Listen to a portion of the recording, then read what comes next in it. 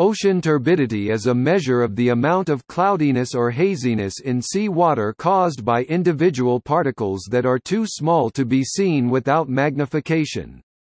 Highly turbid ocean waters are those with many scattering particulates in them.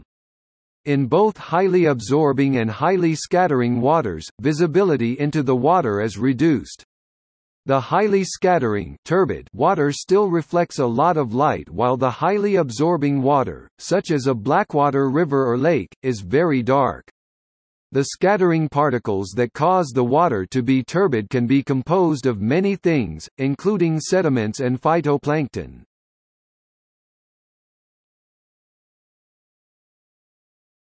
Topic: Measurement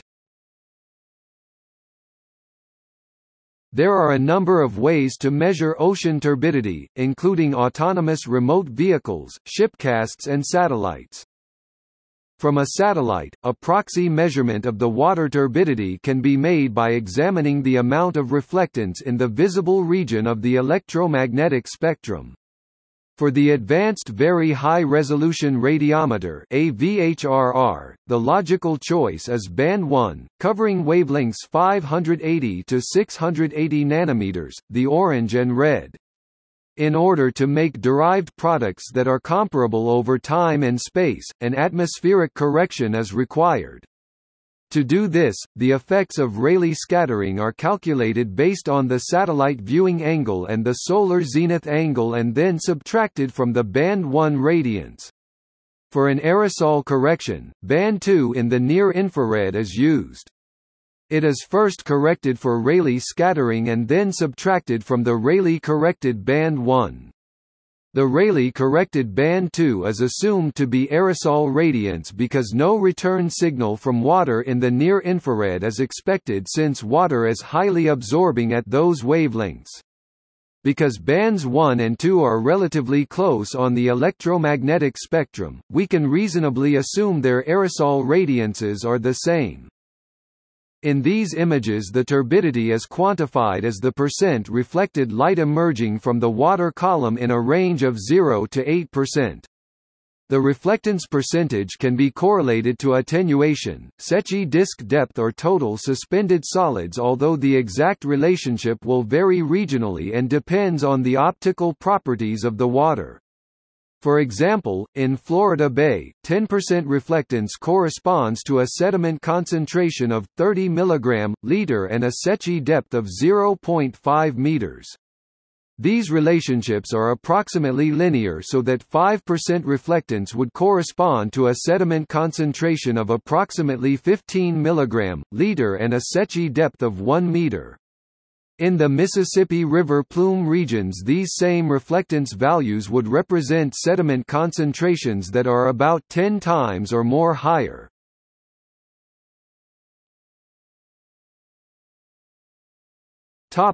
Hurricanes.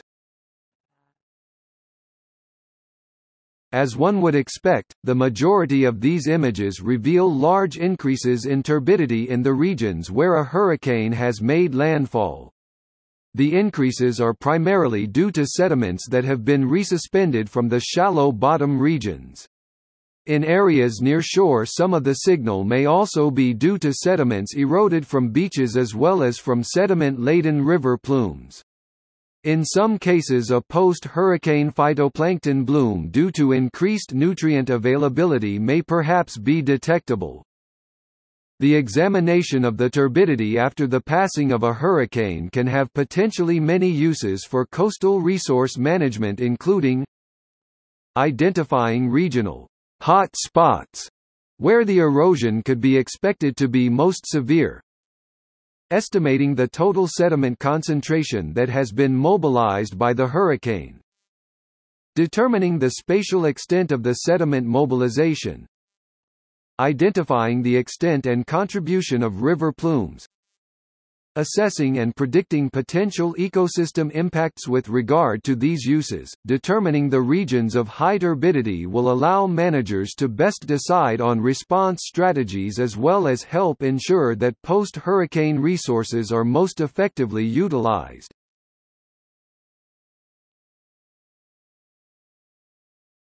Topic: Interpreting images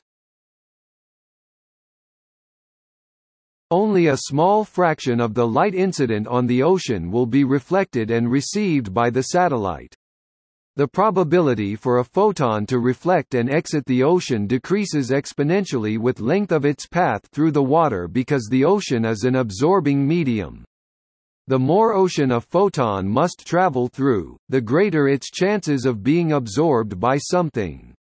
After absorption, it will eventually become part of the ocean's heat reservoir. The absorption and scattering characteristics of a water body determine the rate of vertical light attenuation and set a limit to the depths contributing to a satellite signal. A reasonable rule of thumb is that 90% of the signal coming from the water that is seen by the satellite is from the first attenuation length. How deep this is depends on the absorption and scattering properties of both the water itself and other constituents in the water. For wavelengths in the near-infrared and longer, the penetration depth varies from a meter to a few micrometers. For band 1, the penetration depth will usually be between 1 and 10 meters. If the water has a large turbidity spike below 10 meters, the spike is unlikely to be seen by a satellite. For very shallow clear water there is a good chance the bottom may be seen. For example, in the Bahamas, the water is quite clear and only a few meters deep, resulting in an apparent high turbidity because the bottom reflects a lot of the band 1 light. For areas with consistently high turbidity signals, particularly areas with relatively clear water, part of the signal may be due to bottom reflection. Normally this will not be a problem with a post-hurricane turbidity image since the storm easily resuspends enough sediment such that bottom reflection is negligible. Clouds are also problematic for the interpretation of satellite-derived turbidity. Cloud removal algorithms perform a satisfactory job for pixels that are fully cloudy. Partially cloudy pixels are much harder to identify and typically result in false high turbidity estimates. High turbidity values near clouds are suspect.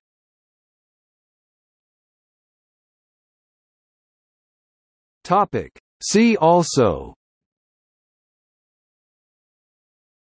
Dissolved organic carbon DOC